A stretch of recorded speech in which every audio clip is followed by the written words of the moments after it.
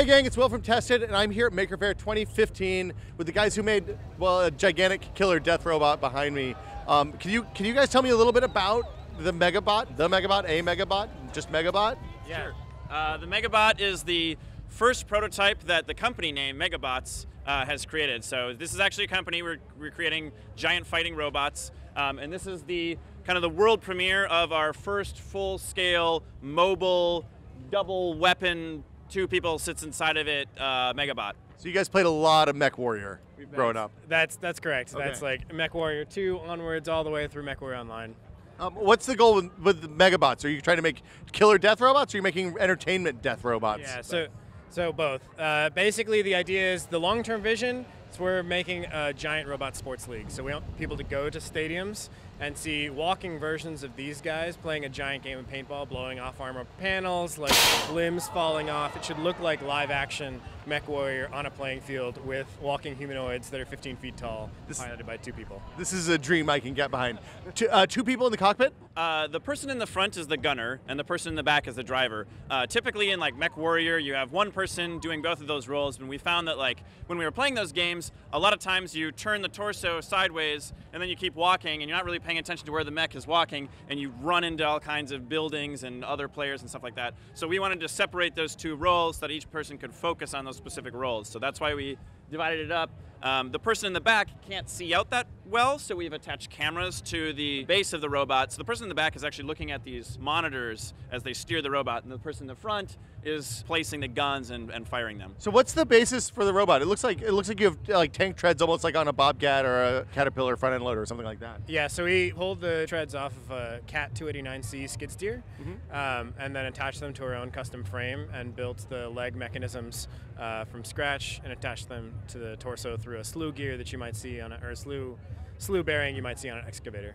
Um, so then, how, how do you build go about building like controls for stuff like this? Are you are you do, using like off the shelf microcontrollers? Are you doing all custom stuff? Um, so the controls uh, is actually uh, like there's a valve stack ups that we got from Danfoss. So um, they're just like proportional spool valves for the hydraulics. Those are controlled by a CAN open enabled uh, CAN controller that Miratron makes. And then there's actually a laptop in there that talks over the CAN bus to those Miratron controllers. So everything sort of happens over the CAN bus.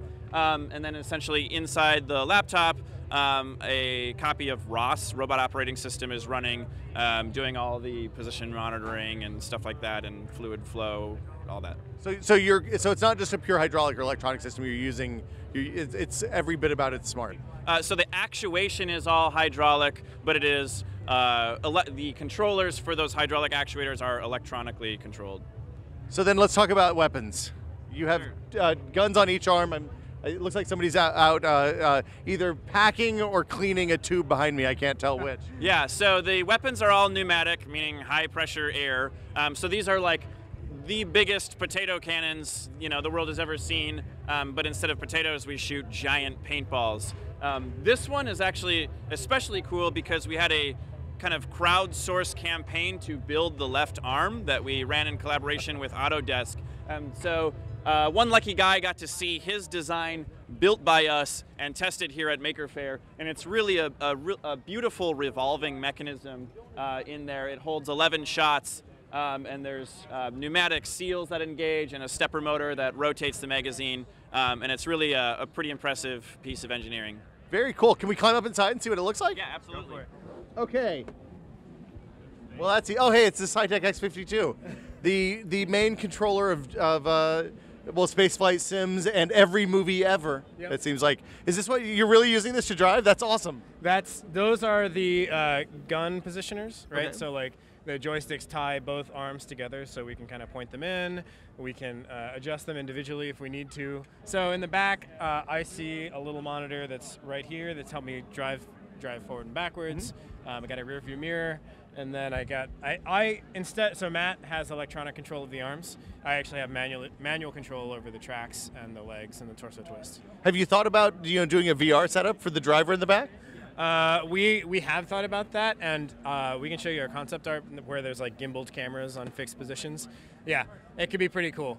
Um, we kind of want we want the gunner in the front to be the like right now you can see this is open grate. Mm-hmm. So part of the idea is that like the gunner might get slimed Nickelodeon style when you get hit by a, a paintball. So it's like the person who's actually shooting should be the guy on the line for getting shot. Yeah, if, if you, I mean, I, I could see a situation where a real passive-aggressive relationship develops between the driver and the gunner. that's that's one of the team dynamics we hope to capture beautifully. Awesome. Thank you so much, Guy. Uh, if people want to find out more, where can they find you all? uh, megabots.com. Our most active social media is Facebook right now, but we also have Twitter and Instagram.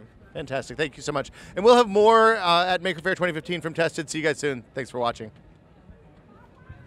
Just go ahead and put them on the cockpit. Okay. finish the close yourself. Okay. Oh my God, this is the coolest thing I've ever seen. Just don't press the triggers. I'm not going to press the triggers. That's super cool.